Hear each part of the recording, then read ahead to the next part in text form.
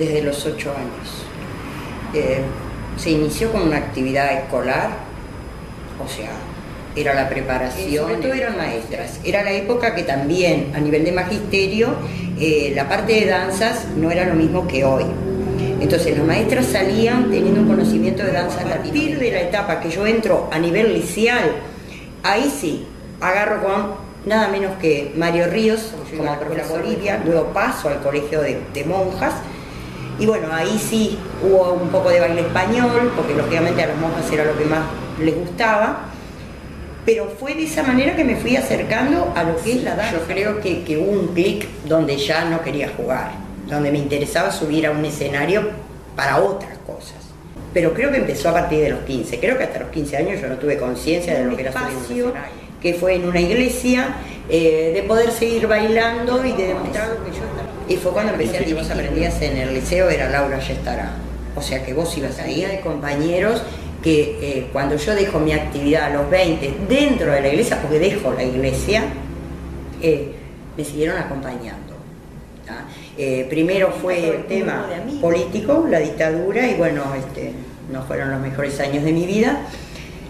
Y en el 75 yo ingreso a tenía que tener su vestuario, por supuesto, de Patria Vieja, de Patria Nueva, de todos los estamentos sociales habidos y por haber, porque nunca sabía, porque bueno, luego vino todo un desarme eh, Teresita y Yeye se retiran o los retiran del Pericón, ingresa Uruguay Nieto, yo estuve un periodo muy corto con Uruguay Nieto como director y ahí me ofrecen irme a Potros y Palmas y a dirigir dos direcciones diferentes. Uruguay más en lo que era la puesta en escena y el tema de vestuario, eh, la personificación eh, lo que era cada personaje, cada interpretación. Era más de montar lo que era una estampa, sin argumentos, que les chocó, me acuerdo al, principio, las propuestas de él, porque no tenían nada que ver con lo que en todos los departamentos habidos y por haber, y fuera del país, por Dios.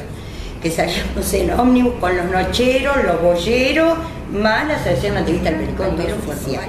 Yo no participé tanto en esa etapa porque era del, equipo nuevo, vamos a decir, de los que eran más para las empresas, porque también se hacían muchas actuaciones a nivel de empresas, bailar eh, tocando en vivo los sábados y nosotros bailar en el patio.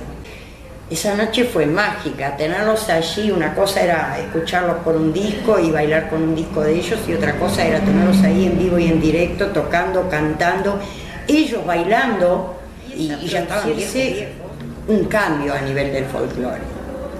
Eh, habíamos hablado de lo que fueron las décadas anteriores, que éramos todos parecidos y todos nos vestíamos iguales.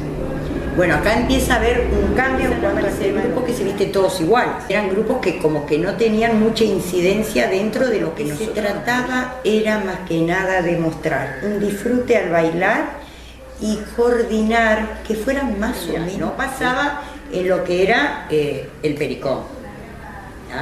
El pericón en aquel momento era lo máximo, a nivel bailarines, a nivel cuerpo de baile, a nivel directores. Todos eh, comienza, por ejemplo, el cielito a trabajar más en lo que era la danza de salón, mientras que Elías Regule continúa trabajando en lo que son las danzas de campo. O sea, empieza a abrirse un poco el espectro. A su vez, el cielito incursiona más en algunas danzas de carácter más del... Más no de eso, todos cuando íbamos a las peñas, eh, el cielito por supuesto era la gran, íbamos todos, Argentina, compañera de trabajo, para ofertarme como eh, directora eh, de un cuerpo de baile en Potrosipal, lo cual no era real.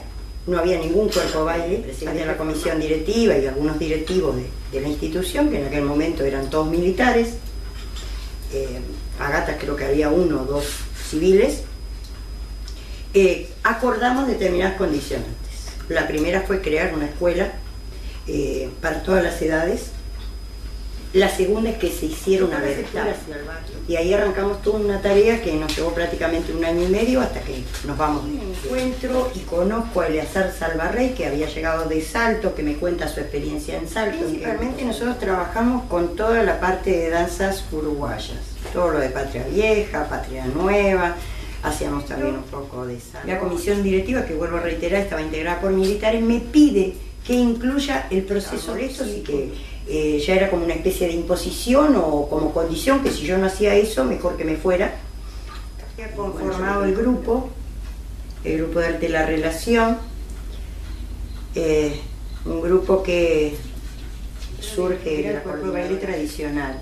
Y sí, también estuvimos con lo que era el ballet eh, por ejemplo, uno de los espectáculos que llevó el ballet fue la misa criolla, después hicimos de rancho mucho sainete criollo con, la parte tradicional, eh, pericón con la investigación, hace muchas décadas que no existe, que no hubo rubro suficiente como para continuar y proyección. Y bueno, y yo no puedo decirle a un ave cuando quiere volar, volar surge en el 97, pero en el 2004 nunca puede estar conforme con lo que está dando, nunca puede estar conforme con lo que sabe, nunca puede estar conforme consigo mismo.